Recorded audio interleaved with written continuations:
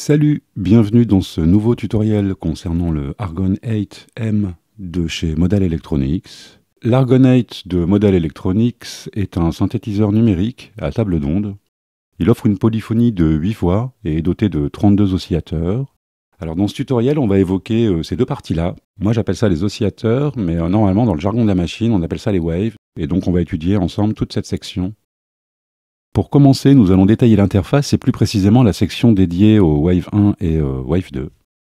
Alors le premier rotatif qu'on trouve ici, qui s'appelle Wave 1, va nous permettre de balayer les formes d'ondes, voyez, comme on peut le voir à l'écran. Voilà, donc euh, chaque wave, donc Wave 1 et Wave 2, sont composés de formes d'ondes, sont des banques, avec un certain nombre de formes d'ondes dedans, et donc en tournant ce rotatif, on a la possibilité de venir passer progressivement de l'une à l'autre des formes d'onde.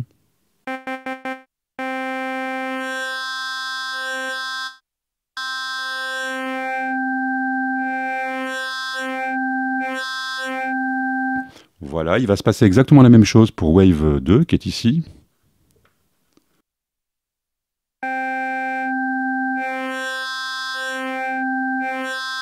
Voilà, donc Wave 1 et Wave 2 vont nous permettre de effectivement naviguer euh, et passer progressivement d'une forme d'onde à l'autre. Alors quand on maintient un Shift enfoncé, il va permettre de naviguer dans les banques et donc sélectionner une banque euh, de Wave. Donc c'est valable pour Wave 1 et Wave 2. Regardez ce qui se passe à l'écran. Vous voyez, on va bien chercher effectivement des banques différentes. C'est bien indiqué ici. Alors, dans le détail, Wave 1 va proposer 24 banques de forme d'onde. Et Wave 2, lui, va en proposer 28. Donc, il y en a 4 de plus qui vont contenir du PWM et puis euh, des noise également. Ce qu'il faut savoir, c'est que sur ces 4 banques en plus, on ne va pas pouvoir affecter de, facteur de spread qui est ici. On verra ça après. Donc, je le disais, avec euh, Shift enfoncé, on va pouvoir passer d'une banque à une autre. Donc, je sélectionne la banque, par exemple celle-là. Et puis ensuite, je vais naviguer dans ma forme d'onde en utilisant le rotatif, comme on vient juste de le voir. Alors, avec patch enfoncé, vous savez qu'on l'a vu dans une vidéo précédente, on a plusieurs types de raccourcis. On a le raccourci vélo, on a le raccourci shift, et puis on a aussi un raccourci patch ici. Et donc avec patch enfoncé, l'on pourra sélectionner un wave mode ou un wave modifieur pour ce set de table d'onde. Autrement dit, on a deux waves eh bien, on va pouvoir appliquer un wave modifieur pour chacune des deux waves. pour ça, on va utiliser le bouton patch. Donc, je clique sur patch, je tourne wave 2 par exemple, et regardez ce qui se passe, comme indique à l'écran. Eh bien, on indique les wave modifieurs qui sont disponibles pour, euh, pour cette wave. Pardon. Vous voyez, donc il y en a quand même pas mal. Et donc avec ça, on va pouvoir venir modifier directement la forme d'onde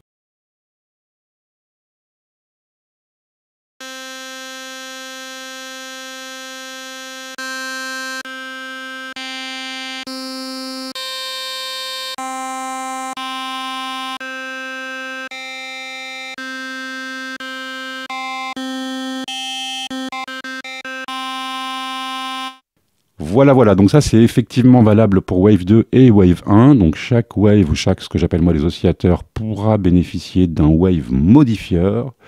On verra aussi juste après qu'on a également des oscillateurs modifieurs. Donc on a deux niveaux de modification de ce qui se passe au niveau de la forme d'onde. Un directement applicable sur le set de forme d'onde lui-même. Et puis un autre qui sera applicable sur l'ensemble du son. On va voir ça juste après. Mais vous allez voir que c'est une partie très très intéressante entre ces deux boutons de on va trouver un bouton Tune ici, qui est indiqué en bleu Fine. On va pouvoir euh, accorder nos deux oscillateurs et puis également faire un accordage plus fin de ces deux oscillateurs. on va pouvoir venir accorder effectivement l'oscillateur numéro 1 en cliquant sur Tune et en venant euh, allumer la LED de l'oscillateur numéro 1 ici.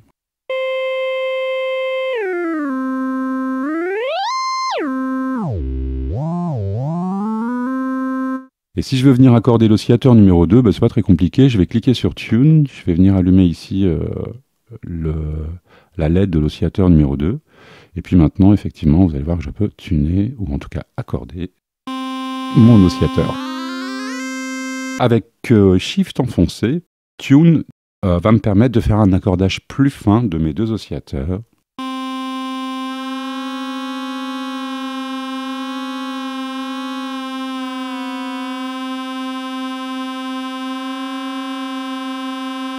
Alors j'en ai parlé succinctement dans l'introduction de ce petit bouton qui s'appelle Spread. Il est très intéressant, c'est un peu une spécificité de la marque euh, Modal. On trouve ça sur beaucoup de leurs synthétiseurs, en tout cas ceux que j'ai essayés. Alors Spread ajoute des oscillateurs afin de produire un unisson ou un empilement d'octaves ainsi que des intervalles. Dans la première moitié de la course, Wave 1 et Wave 2 fonctionnent comme des oscillateurs indépendants et désaccordés afin de produire un gros unisson.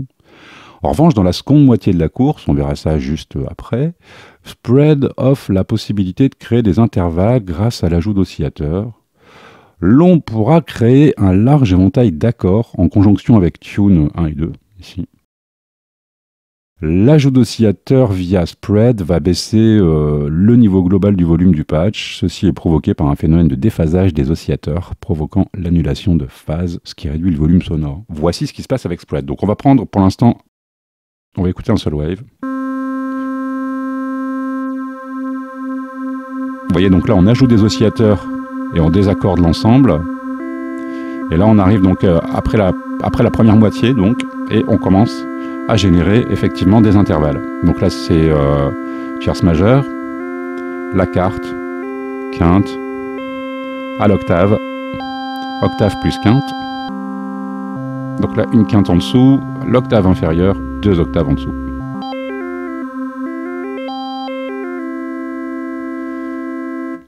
Voilà, voilà. Donc effectivement, si je viens maintenant ajouter l'oscillateur numéro la Wave 2, on va pouvoir créer des accords. Voilà, voilà, donc ça c'est l'action du bouton Spread. Donc Spread effectivement ajoute des oscillateurs euh, à l'ensemble de nos deux waves et puis vient désaccorder tout ça sur la première moitié de la course du bouton et sur la seconde moitié de la course du bouton. Et eh bien, on va créer, grâce aux oscillateurs supplémentaires, il y en a 32 en tout, eh bien on va créer des intervalles, quand même fort pratiques, puis c'est euh, très original. Juste en dessous, on va trouver euh, donc le bouton Glide. Enfin, c'est pas juste en dessous, c'est la seconde fonction de mon rotative spread. Si je clique sur Shift, eh bien, spread se transforme en glide.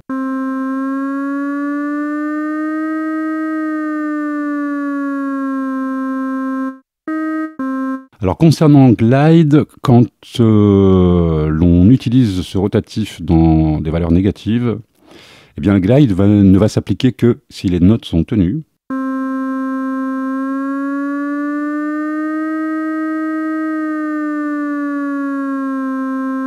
Comme ici. En revanche, si les notes sont détachées, dans des valeurs positives, eh bien c'est un comportement tout à fait inverse qui se passe.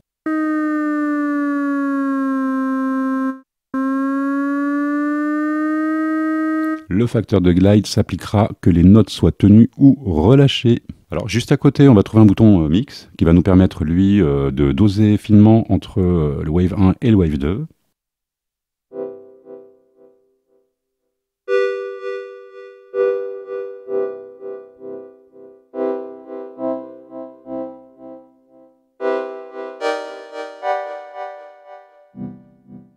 Voyez, donc là, on a un exemple de patch où j'utilise finalement deux accordages différents pour les oscillateurs, plus le spread, ce qui me permet d'avoir des accords qui sont joués avec un seul doigt.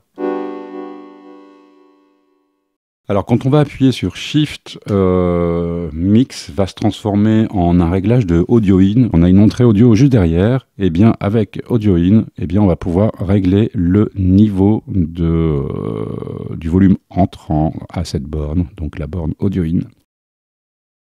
Alors, juste à côté, on trouve un rotatif qui est très intéressant, qui s'appelle OSC Mode, ou oscillateur modifieur. Donc, euh, je vous en ai parlé tout à l'heure. Le Argonate propose deux types de modifieurs. Des modifieurs pour les euh, sets de Wavetable, qui sont applicables directement sur les deux euh, sets, indépendamment, bien évidemment. Et puis donc, on a un autre type de modifieur, qui est l'oscillateur modifieur, qu'on trouve juste ici, OSC mode ou oscillateur modifieur contrôle le dosage euh, du modificateur d'oscillateur. Que Wave 2 euh, vienne moduler Wave 1 ou que le modificateur d'oscillateur soit appliqué directement sur Wave 1.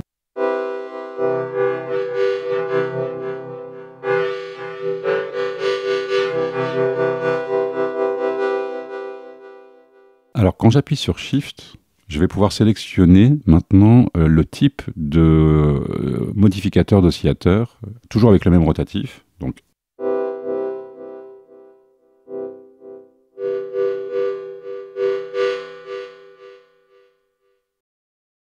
Donc on a une modulation de phase, ring modulation, amplitude modulation, hard sync. Voilà, voilà, donc on a tout un tas, on va voir ça juste après, hein. on a tout un tas de, d'oscillateurs modifieurs disponibles, et donc avec Shift enfoncé et puis ce rotatif qui est ici, on va pouvoir sélectionner le type de euh, oscillateur modifieur. Et je le rappelle, quand Shift est relâché, eh bien on va pouvoir doser finement notre euh, modulation d'oscillation, ou modification d'oscillateur, pardon. Alors, ce petit rotatif qui est là, le rotatif drift, va nous permettre eh bien, effectivement de faire drifter les oscillateurs, donc qui vont légèrement glisser euh, en fréquence. C'est euh, pour reproduire typiquement le comportement des vieux synthétiseurs analogiques dont les oscillateurs n'étaient pas très stables. Voilà. Quand on utilise Shift avec ce bouton, eh bien, euh, on va venir écarter la stéréo de ces oscillateurs. Donc les, oscillateurs vont se retrouver écartés sur la plage stéréo, comme par exemple ici voyez Si je viens spreader un peu, alors pardon.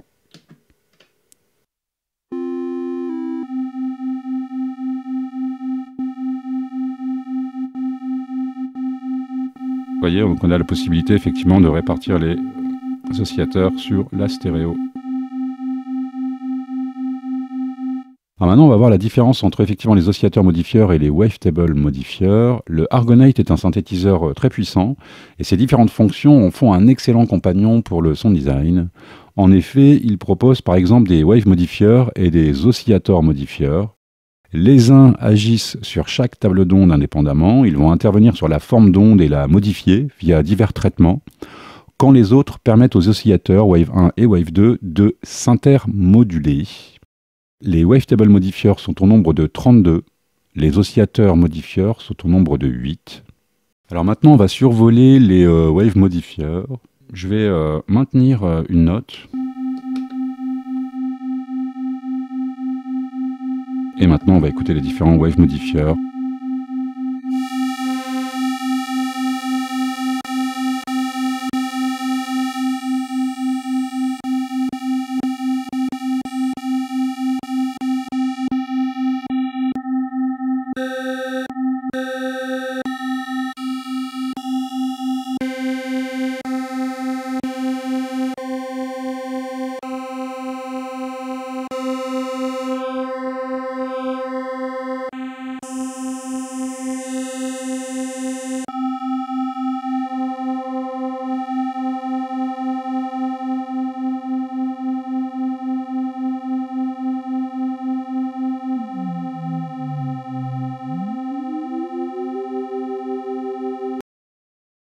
Voilà pour les euh, wave modifieurs. Vous voyez, on a beaucoup. Ils sont applicables, comme je le disais, sur chacun des waves tout à fait indépendamment. Donc on a déjà une richesse de timbres euh, euh, envisageable avec ne serait-ce déjà que ces petits paramètres-là.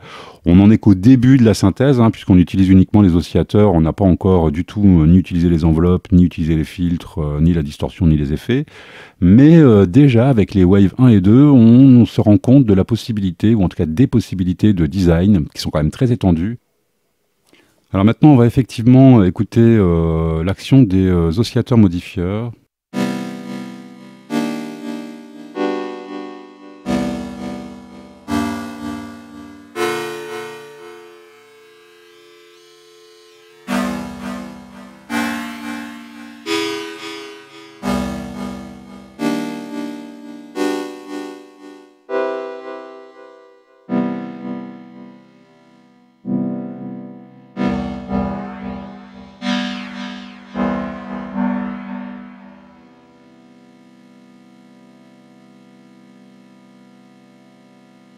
Donc là, on a une modulation de phase sur ce patch.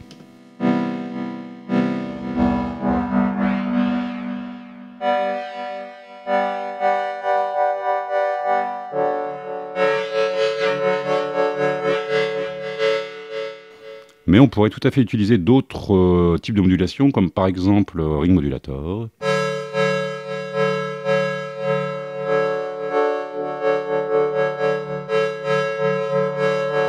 Bah, écoutez, je pense qu'on a fait le tour de ce second tutoriel concernant les oscillateurs ou les waves du Argon 8 de chez Modal Electronics. Alors j'espère que vous avez appris des choses et puis j'espère que vous avez passé un bon moment. Je vous dis à très bientôt. Bye bye.